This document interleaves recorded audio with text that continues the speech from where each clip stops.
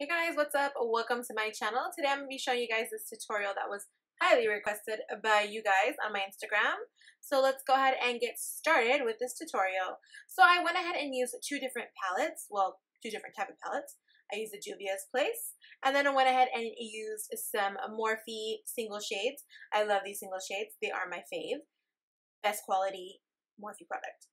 So I'm going to go ahead and take the Morphe Flame, and I'm just going to go ahead and use a blending brush and I'm just going to take this color and work it into my crease and I'm going to just blend it out very effortlessly and give it a nice wash. Just be sure that you're not using super strong pressure and you're just going in a circular motion. Now that I got that transition color in, I'm going to go ahead and move on to Morphe Brick. It's also a single shadow. And I'm going to go ahead and take a different blending brush and I'm just going to pack on that color onto the outer corners of my crease. And as I'm packing, I'm also going to go in a circular motion and kind of pull it out in a wing just to give my eye shape a nice defined wing look. I prefer the wing look to my eye shape versus the rounded shape. Um, me personally, I don't like how the rounded shape looks on me.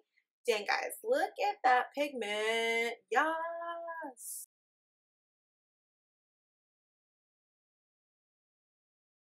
And now we're going to go into the world's most pigmented palette I have ever used. It is so amazing. This is the Juvia Place Magic Palette. It's literally magical. I love it. I'm just taking a green shade. There's seven different green shades, I think. Actually, no, there's only three. And I'm just going to take the lightest shimmery mermaidy shade that they have. I think it's called Conage or Conge.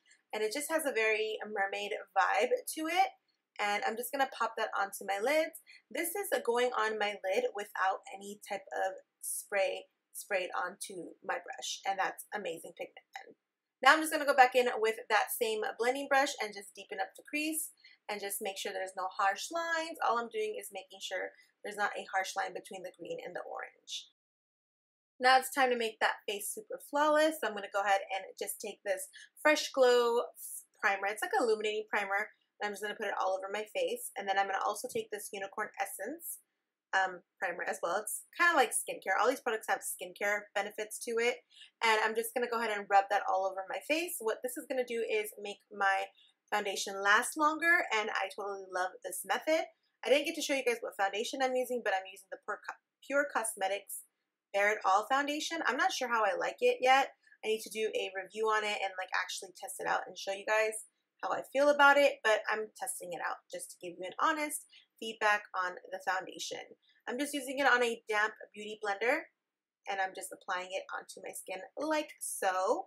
Now I'm going to go ahead and take this concealer, you know, the concealer that makes everybody dance, makes everybody happy, the Shape Tape Concealer, and I'm just going to conceal underneath my eyes, cover up those bags, brighten up that face, and I'm not going to use it as a highlighting so much. I'm going to use it more as coverage and to clean up my eyeshadow. Then I'm going to go ahead and take this mini beauty blender, or should I say booty blender, just like Patrick Star.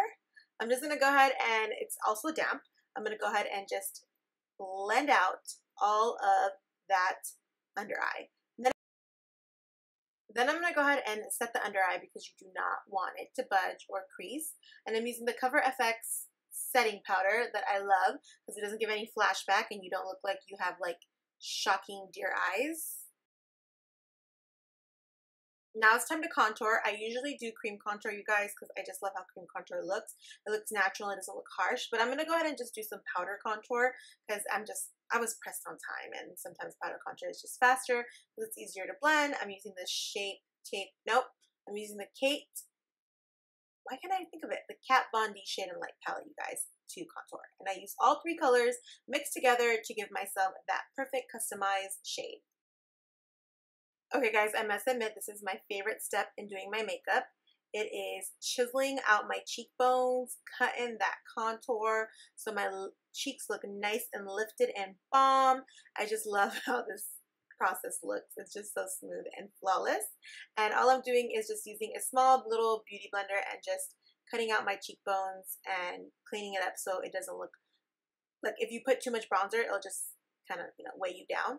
So that always happens to me. So I just easily clean it up like this. I only let it sit on my face for a little bit and then I just go ahead and clean it off with a brush. Okay guys, so now I am basically going back to my eyes and I'm to go ahead and just do the under eyes and I'm taking that flame color and I'm just using that all over the under eye and then I'm going to take the brick color and concentrate it more on the outer parts of the eyes and then I'm going to obviously go ahead and take another color from the Magic palette and this is Faso. It's a purple shade, iridescent. I love it. It's so beautiful. It's like the most prettiest inner corner tear duct highlight that I've ever seen. And I love it because I love purple shades.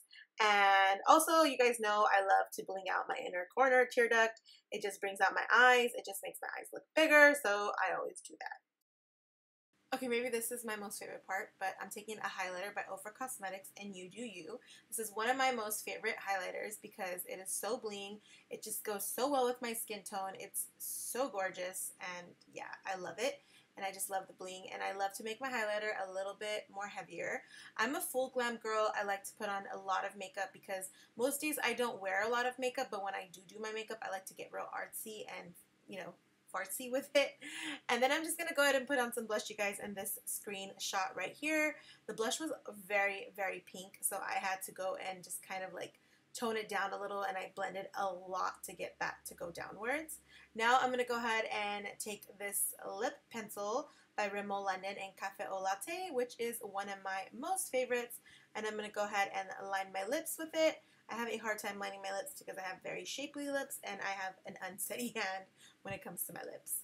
Now I'm going to go ahead and take a dose of color. This is a liquid lipstick, one of my favorite colors in Stone. I love this color because it just goes with every skin tone and every person that I know wears it looks amazing in it. But obviously if you have darker skin tone like me, you do want to wear a lip liner with it so it does not wash you out.